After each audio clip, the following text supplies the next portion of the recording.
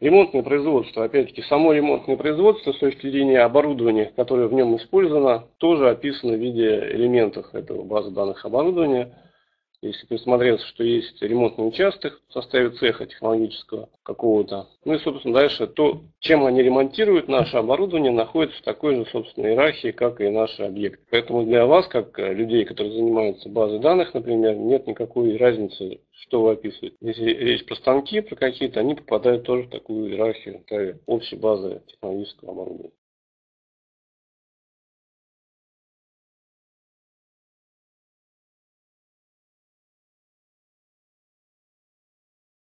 Есть очень много примеров классификации, собственно, оборудования ремонтного, механического, как мы говорим. Сами станки, например. Поскольку это тема машиностроения, э, я не буду долго рассказывать. Есть готовые классификаторы металлообрабатывающих станков.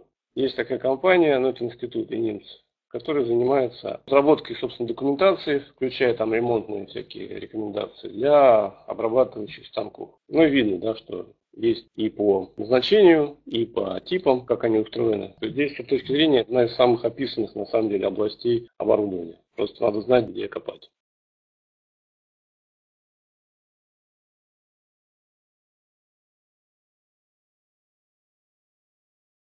Ну, вы знаете, да, и модели оборудования станков, они на самом деле связаны именно с классификатором. То есть любая цифра в модели отечественного станка обозначает либо назначение, либо класс точности. Это все на самом деле надо просто изучить и реализовать на этапе сбора данных.